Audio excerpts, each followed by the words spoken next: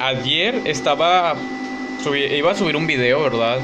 Eh, mostrando cómo vincular tu mando tu DualShock 4 a tu PlayStation. Y me acaba de suceder otra vez lo mismo. ¿Qué, qué es lo que pasa? Que mi mando se desconecta. No sé por qué tiene este fallo. La verdad desconozco. Nunca me había pasado hasta ayer.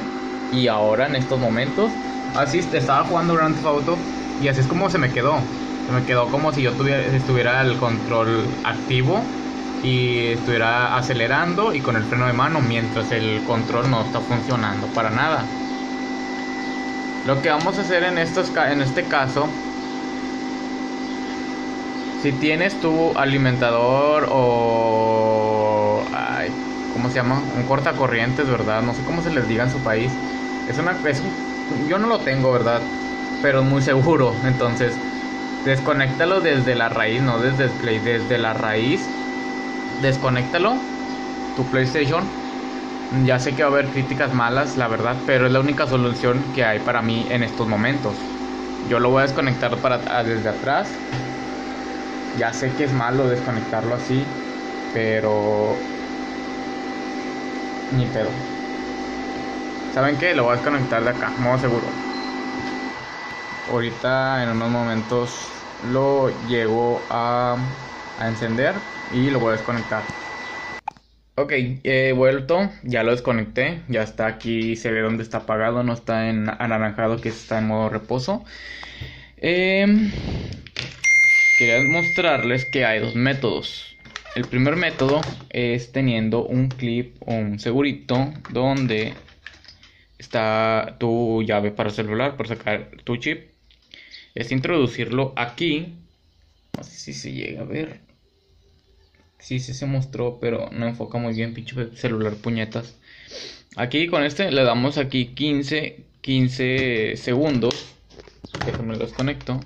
Le vamos a dar 15 segundos. Después de los 15 segundos, lo que van a hacer es, es conectarlo Hay varias funciones. No sé si no sé cómo te vaya a funcionar. Conectarlo. Y si no llega a pasar eso, es porque aquí estás viendo que en realidad no se conectó a la PlayStation. Lo que vamos a hacer es conectarlo y lo encendemos. Si no les funcionó como acabo de hacer, nos vamos al siguiente método. Acabo de encender la PlayStation.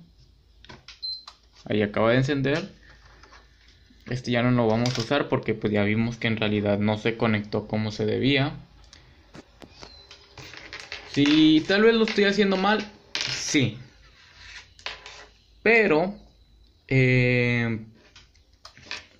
si llega a funcionar con el método que hice el primero o el segundo, pues ya chingamos. Y si no, pues a seguir buscando en YouTube hasta que te encuentres algún algún método que sí te haya funcionado. Hay muchos métodos. Aquí pues pueden ver claramente que sí funcionó. O sea que, que sí lo apagué de, la corriente. Y mientras se pone, estamos en espera de que se llegue a completar la barra.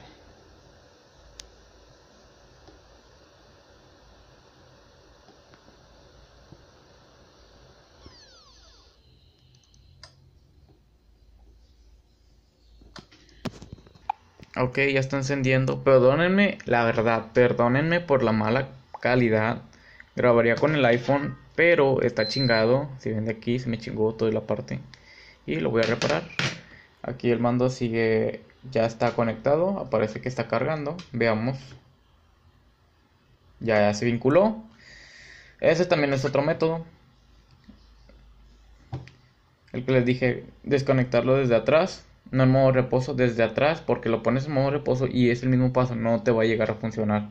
Lo voy a desconectar para que vean que ya está vinculado. Y ya, es todo.